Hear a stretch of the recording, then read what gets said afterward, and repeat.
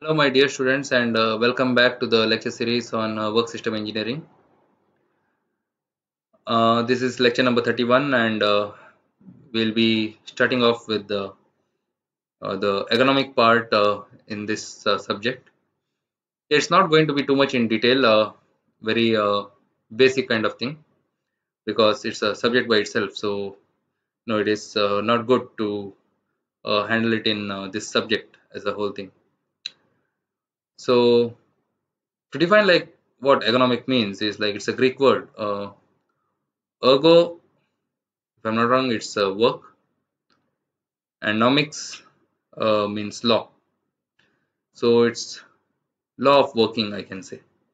Law for working. So you know uh, it's a human factor in engineering design. Or uh, in a very uh, typical way in how I can design it or I can define it. Uh, I can say it as uh, if you have heard about the Vastu Shastra kind of word. So it is the Vastu Shastra for the industrial work, the industrial engineering. So let's uh, you know have the basic understanding of few things uh, which is the part of this subject. To start with, uh, we will uh, understand what is a man-machine system and then we will see the ergonomic guidelines for uh, the display devices and uh, control devices. So here is the presentation on introduction to man-machine systems and uh, guidelines for display and control devices. Now when I say guidelines, it is the ergonomic guideline. Let us first talk about the man-machine system.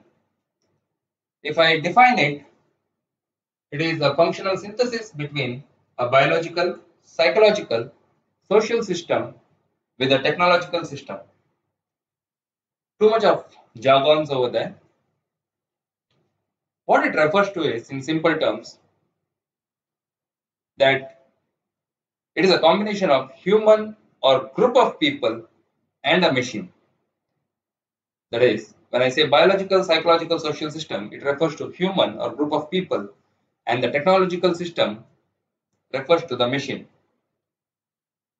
And a man-machine system is characterized predominantly by the interaction and functional interdependence between the two systems. Now, whichever is the man machine system, whichever system is being produced has to provide a particular function. That means it has to yield an output. That's why it is created. And when I say output, it is either in terms of product or a service. But with a reasonable cost and under certain conditions of disturbances which affects the human component, the machine component or both the components. Now when we define saying that there has to be an output, there has to be an input. The inputs for any man-machine system are the expected values of performance by both man and machine, the cost involved in setting them up, the reliability, which is a function of uptime for man and machine both, and the safety.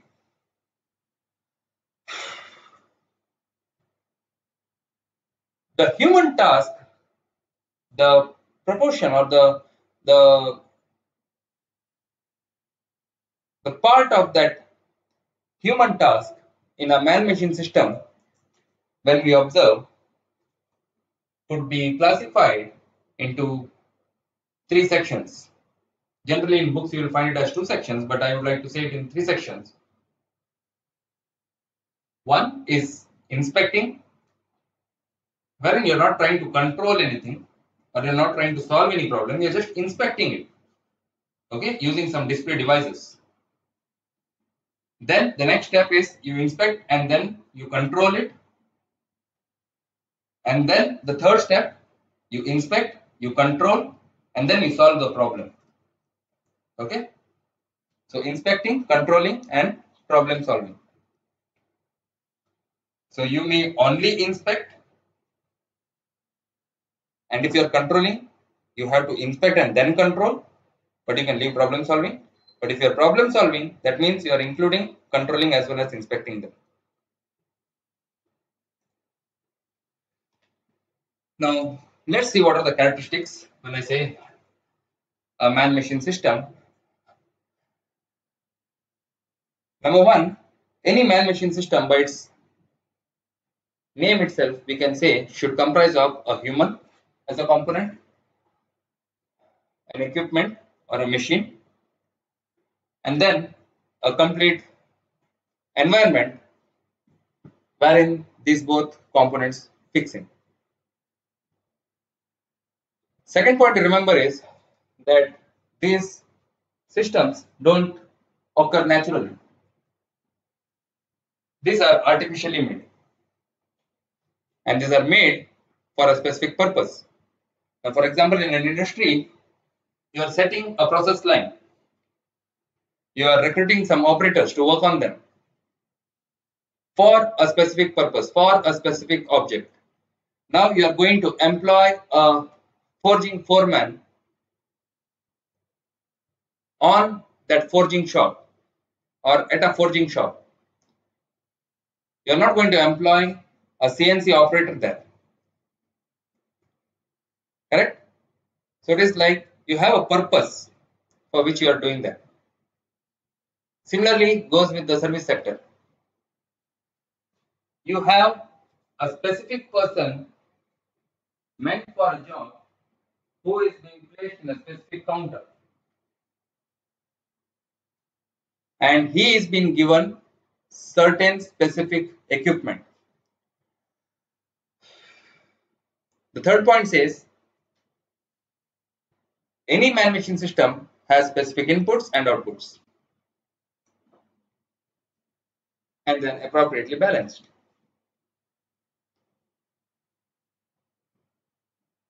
Which means that you cannot have any kind of input given to get your desired output. For example, say that one of the input we talked is safety. And now you are telling that the person has to work in a hot forging section. Now as a safety thing you are giving him a goggle but you are not giving him a glove. So that is not the specific input you have given him. Is not working on a yeah gloves may you know the goggle may be important over there, but then gloves would have been much more important. You have not given him the perfect shoes which are required for him to wear in that high temperature zone. Or you have not given him the perfect suit which he had to wear in that hot temperature zone. Fine. So at that moment, it's obvious that he'll be ending up in fatigue very quickly and you may not get your outputs by time. The productivity is going to reduce. You need to balance that. Next thing is it is variable in size and complexity. It's obvious. It differs from process to process, industry to industry, firm to firm in size and complexity. And then it is dynamic in nature. It keeps changing with the requirement.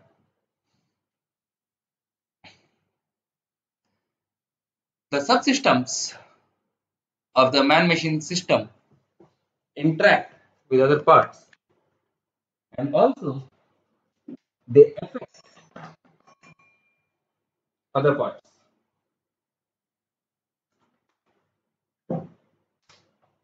The last point says the environmental factors or the system environment affects the system performance.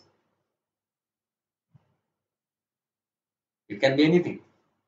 The temperature condition or the work condition, the vibrations, the sound pollutions, whatever it is, it is going to affect your system performance. So has to be taken care of and not only the man and machine. Coming to the classification, we have three types. First one is the manual system, which is the most simplest one. the complete thing is governed by the human operator. It is the most flexible one, smallest in size. When I say smallest in size, it is like in the entire industrial scenario or the service sector, this contributes to the smallest portion. And then there's a considerable variability because uh, not every worker is going to work in the same manner, same method. Now I may hammer it, you know, I may hammer a particular part while forging with certain force and certain movement of my arm. The other person may not be the same. Coming to the service sector, my way of counting the currency notes will be different than the other one. Or my way of dealing with the customers may be different from others. Okay, so this manual system has considerable variability and there are only simple tools and equipment which are used there. Now coming to the second one, it is mechanical system, which is like partial automation. Yes, it is a bit more complex than the first one and little bit inflexible compared to the manual one. The machine component here is power driven and the human activity is information processing, decision making and controlling. So keying something into the computer and then that giving you the data when it is coming to the service sector or you know you giving a particular code to the CNC and it giving you the oh I can't call it as partial thing there. But yes I can. CNC is not completely automated. So you are giving a code there and you are waiting for it to finish the work. So you are controlling it. Correct? If you want to stop it in between you have that push button. You can stop it. I don't call it as a automation. It's a partial automation. Then comes uh, you know the last type which is known as the automatic system. It's a complex system in which automatic devices perform all the operational functions. You can relate it to artificial intelligence or something like that. The operational functions are sensing information processing decision making and action. It is completely inflexible and cannot be adapted to uses other than the one for which it has been designed. Now here, the human element performs the job of only monitoring, performing the function, maintenance and upkeep. Just maintaining that system, that's all. Because all other things are done by that. Now said here saying the automatic telephone exchange. I hope you know like when you have given a call you don't have a control over there right it's already fed and then you just say press 1 press 2 so you just go on pressing that particular number and it diverts you to the right place. It senses what you have clicked. But you know to be very frank there is no perfect reliable automatic system which exists till now as of my knowledge. But yes, today's generation, you might be knowing much better than me. There might be, which is not in my knowledge. If it is there, you can quote that as an example. You can comment over here.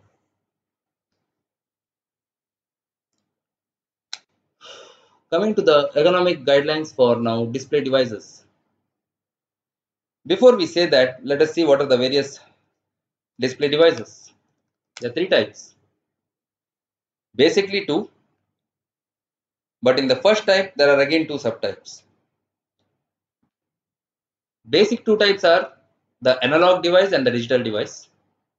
Then again, if you tell me in detail, analog type 1, analog type 2, and then display. And when I say analog type 1, it is the dial is fixed and the pointer is moving. An example is uh, your speedometer. So the dial is fixed over there. What you see is the pointer moving. And then the analog display system type 2, where the pointer is fixed and the dial moves. So, you know, if you have seen the Barcol hardness tester, though it comes in the first type, but when you are trying to adjust it for calibration, you can uh, make it act as uh, the analog uh, display system too. You can fix the you know pointer and then you can move the dial. Any other example if it comes to your mind, you can comment it over here again. Digital uh, display system, I don't have to explain it to you. You have the counters which you use, okay, wherein the numbers get displayed. Is there in your uh, smartphones also now? Now let us see what are the ergonomical guidelines for them. So mostly it is considering only the analog display because you know digital display system uh, the ergonomic design mostly will be like the number should be appropriately visible to you okay and uh, it should be like handy and all those things but majorly the guidelines are uh, given in most of the textbooks for the dial and pointer type. So let us see. It says the degree of accuracy shown on the dial must be following the required accuracy. So it must be appropriately calibrated. So if a dial gives an accuracy greater than the required, makes reading more difficult and leads to reading error. I hope you have experienced this most of the time. and uh, you try to calibrate the measuring devices. Second point, the dial should give the correct and needed information to the operator while working on the machine. Third point, as far as possible, the subdivision should be in multiples of 1, 2 or 5 since other subdivisions may raise difficulties in putting the correct information. You know, these values are very easy when it is in ones or twos or fives, it's easy to calculate. It is fours, threes, sevens, nines, you know, to calculate it quickly, it becomes a bit difficult until unless you are very strong with mathematics, right?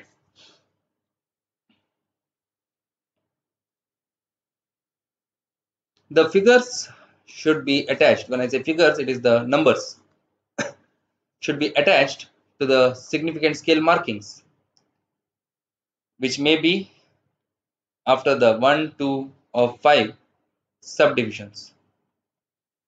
The numerical figure should be tangential on a moving scale and upright on a fixed scale. To understand it better, you can always remember the speedometers or any of the dial gauges that you have seen. Okay, I have not given any kind of figures over here because this is not something very new to all of you. It is very well understood, all these points. The pointer must have sharp arrow or tipped point to show the correct numerical value. Because if it is having a blunt arrow kind of thing, you won't be able to understand which subdivision it is being showing, right? And then it should not cover the numbers or the scale. Otherwise, you'll be confused. Then the pointer should move in the same plane so that the parallax can be avoided. The sizes of letters and figures must be adjusted to the expected distances between the eye and information display. And for that you have a formula. Height of the letters or figures in mm is equal to visual distance in mm by 200. This is the standard formula which is used. So these are the general guidelines which are used for display devices. I would like you to go through this once again so that it is pretty much clear. And I request you to go through it. And whenever you are reading this out kindly try to remember any one of the dial gauges. Or you can even have a look at your watch that's also one of the simplest example. Yes that's also dial gauge right? Simplest one. I can't call it as a dial gauge but yes somewhat very similar. Now for the ergonomic guidelines on my control devices i'll be just moving on the slides but i will not be you know reading them out because i would like you to read them out on your own and then understand them because it is not a complicated one. It's all about the knobs, lever, push button and switches which you have been using in your daily life as an engineering student. Okay, you have used this in a lathe machine or in a shaper uh, or at your you know even maybe in your homes. You will be using it in your daily life.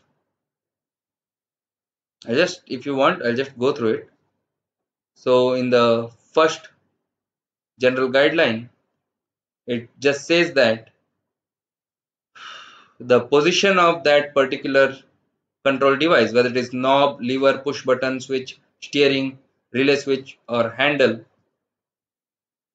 must be at a ease of access. The location must be at a ease of access for you. It should not be somewhere you know at a position which is out of your reach because at a moment when you want to stop a particular equipment all of a sudden or start a particular equipment it should not be that you are taking all the stress to do that the second point says that it should have a consistency of motion. That means first time when you turn it towards right side, maybe clockwise direction, that means you are increasing, say it is a voltage equipment, the knob is for increasing the voltage and you are moving it in a clockwise direction, then that equipment should increase the voltage not only for the first time but each time you do it it should do the same thing. It should not be like second time you increase it and it should decrease the voltage. The there should be a principle of consistency of motion there. And then as far as possible the scales and knobs meant for the same function should be placed together. That means it should not be like what I meant to say over here is it should not be something like uh, now you are reading the pressure bar. I hope you remember few of the experiments where you have to uh, read the pressure okay? And you have that manometer. You're trying to increase the pressure using a knob or something and your manometer is somewhere at the back side of the instrument so you are employing one more person to read it Instead of that, it should be always nearby you. So either it should be placed sideways or if it is a smaller thing, it should be, you know, at the upper side. That's what uh, has been uh, explained in uh, third and fourth. Coming to the fifth point, it says that the motion of the pointer of the scale or dial should be consistent for the control. It should not be that you say that for the first time to increase 1 mm you are moving it for say by one revolution or say uh, not one revolution I mean to say uh, for one click and then next time you want to move it for 1 mm you are again you need to go for two clicks or something. So what it says is it should be consistent. The next point is the subdivisions and numerals should not strain the eyes. On those control devices there are some things written right? It should not strain your eyes. It should be very clear. The control device should be marked appropriately you know where is on where is off. And sometimes nowadays uh, they give color codings. Red is for off green is for on. And then appropriate thing should be there like it is for speed feed or whatever is the thing if it is a cnc the shape or alignment should be appropriate that you handle it appropriately you know. It should not be in a very odd shape that you can't handle it.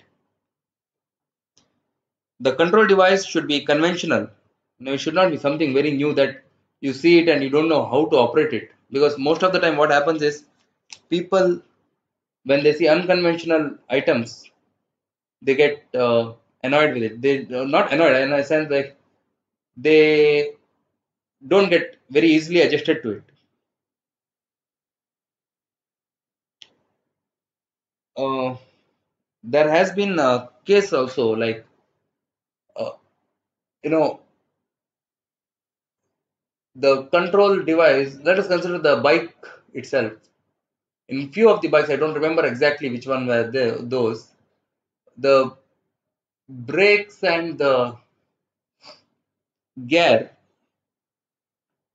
were made to look similar the pedals. And uh, it so happened that during those olden days there were many accidents due to that yeah now people have got that understanding but earlier suddenly when that conventional thing was changed there were many accidents.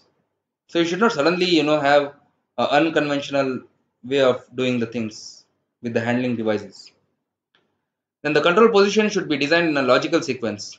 That means say in a cnc you have that always like feed speed thing very nearby. Those two knobs are very nearby. Okay so you understand. And then uh, not feed speed i mean to say uh, you know like for example say all those alphabets are in one group wherein you are giving all the things together. Like grouping is done appropriately. Okay? Now consider the switchboard. Your fan regulator is always near to the fan switch. It's not like your switch is at one place and your regulator is on the opposite wall direction. Or you know your regulator is at one place and uh, the switch for the fan is some three buttons after that. So you tend to switch on all the buttons. But a normal tendency is that whenever you tell someone to switch on the fan he will always see the button which is near to that regulator right? So that's what it is said like logical sequence to prevent any kind of erroneous operation so that's all my dear friends and uh, i hope uh, the lecture was clear and i'm very sorry that uh, i've been huffing because of uh, some health issues. So that's the reason that i have been not efficiently been able to you know uh, um, conduct this particular portion.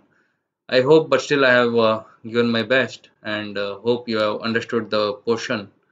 I would request you to go through the slides again and again and uh, you know uh, for this part of uh, the subject I would request you to go through the videos again and again so that you know you can learn it in a much better way. So thank you again for uh, patient listening. Uh, take care of yourself and uh, yes thank you again. Be safe. Be at home